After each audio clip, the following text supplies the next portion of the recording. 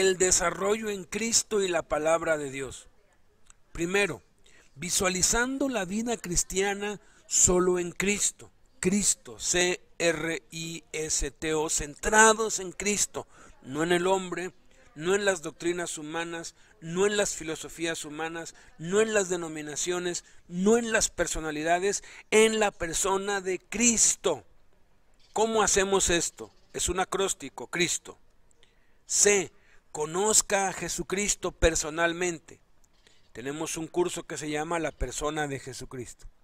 Recurra a la Biblia diariamente. Tenemos otro curso que se llama Jesucristo y la Biblia. CRI. Instruyase en la mayordomía. Hay otro curso que se llama Jesucristo y la mayordomía. S. Sea lleno del Espíritu Santo. Tenemos otro curso muy interesante y muy profundo sobre Jesucristo y el Espíritu Santo. T. Testifique a otros de Cristo. Tenemos también un curso que se llama Jesucristo y la evangelización. O ore a Dios por usted y los demás. Tenemos otro curso acerca de Jesucristo y la oración. Cristo, C-R-I-S-T-O. Conozca a Jesucristo personalmente, recurra a la Biblia diariamente, instruyase en la mayordomía, sea lleno del Espíritu, testifique a otros de Cristo, ore a Dios por usted y los demás el curso enseñando a Jesucristo. Está centrado en la persona de Jesús y sus enseñanzas. Son 12 módulos. La persona de Jesucristo, el creyente, el Espíritu Santo, la vida abundante, la oración, la Biblia, la obediencia, la evangelización, la mayordomía, el trabajo, la gran comisión y el discipulado la relación de la palabra de Dios con nuestra vida. Nuestra relación con la palabra de Dios se puede simbolizar pues con la mano. El dedo meñique representa oír, el dedo anular representa leer, el dedo cordial representa estudiar, escribir, el dedo índice representa memorizar y el dedo pulgar representa hacer. La aplicación debe hacerse con cualquiera de las otras cuatro acciones para retener o tomar la palabra de Dios.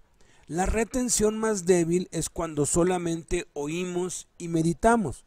El meñique y el pulgar. Trate usted de sostener un libro con estos dos dedos, pues sí lo puede sostener, pero cualquier fuerza contraria va a hacer que se caiga. Así pasa con nuestra vida.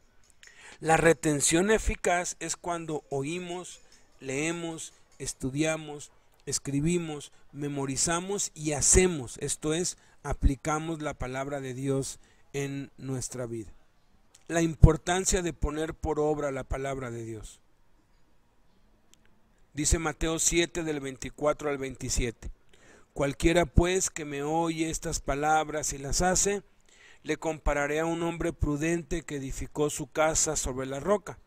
Descendió lluvia y vinieron ríos y soplaron vientos y golpearon contra aquella casa y no cayó porque estaba fundada sobre la roca. Pero cualquiera que me oye estas palabras y no las hace, le compararé a un hombre insensato que edificó su casa sobre la arena. Y descendió lluvia y vinieron ríos y soplaron vientos y dieron con ímpetu contra aquella casa y cayó y fue grande su ruina. Santiago 1 del 22 al 25 dice, pero sean hacedores de la palabra y no tan solamente oidores, engañándose a ustedes mismos, porque si alguno es oidor de la palabra, pero no hacedor de ella, este es semejante al hombre que considera en un espejo su rostro natural, porque él mismo se considera, repetir, repetir, porque él se considera a sí mismo y se va y luego olvida cómo era.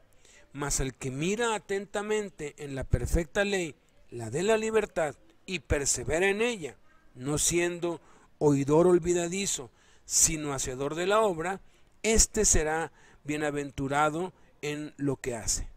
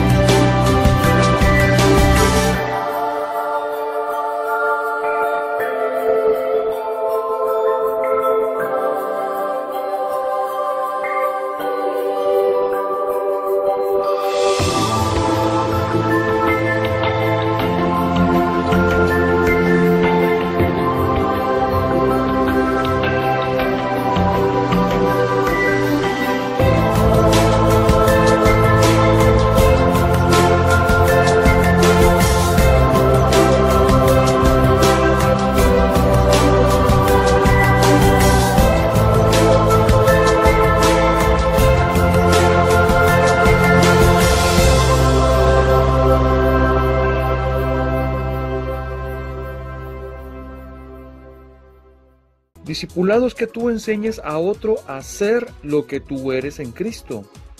Memoriza la frase.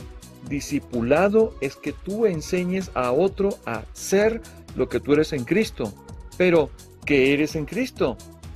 Supongamos que yo soy nuevo en Cristo. Entonces, si quiero que me disipules, lo lógico es que quiero aprender a cómo conectarme de verdad con Dios. Muéstrame con tu Biblia cómo y en qué circunstancias te ha hablado Dios. Me gustaría verte orando y también saber cómo y cuándo respondió Dios a tus peticiones. Uno de los mandamientos más apremiantes del Señor Jesús es que prediquemos el Evangelio y hagamos discípulos. Entonces, enséñame cómo predicar de manera efectiva y no solo me enseñes, vamos juntos y déjame ver cómo lo haces. Ayúdeme a trazar un plan para predicar y buscar yo también a alguien para discipular. No quiero que la obra de Dios muera conmigo, sino que continúe aún después de que yo me haya ido de este mundo. ¿Lo notaste? El discipulado real solo se puede llevar a cabo por alguien que de verdad vaya siguiendo al Señor Jesús. Y es lógico, nadie recomienda algo que no funciona. Todos queremos que nos enseñe alguien que de verdad vaya siguiendo al Señor Jesús. ¿Has estado leyendo la palabra de Dios? ¿Te has estado conectando con el Señor en oración? ¿Has estado aprendiendo y practicando el camino romano? Empieza ya a orar porque el Señor te dé un discípulo. Vamos adelante. Una de las formas de comunicar el mensaje de salvación es utilizando lo que se conoce como el camino romano. El nombre proviene de una serie de versículos que utilizamos de la epístola del apóstol San Pablo a los romanos en el Nuevo Testamento. Le llamamos camino porque seguimos una secuencia de versículos y, sin andar de acá para allá en la Biblia, podemos transmitir el mensaje de salvación de una forma sencilla y práctica. Vamos directamente al camino romano. La única cita que debes memorizar es Romanos 3.10. Ya está, nada más así, Romanos 3.10. Es aquí donde comienza el camino. Así que localiza el versículo en tu Biblia y márcalo para que te sea más fácil localizarlo a ti y también a la persona con quien intentas compartir. ¿Ya lo encontraste? Muy bien. Ahora, al final del versículo 12, porque vas a leer del 10 al 12, al final del versículo 12 escribe 3, 23, que es el versículo que sigue para leer. Encuéntralo y márcalo. Ok, ya lo encontraste, aquí está, Romanos 3:23.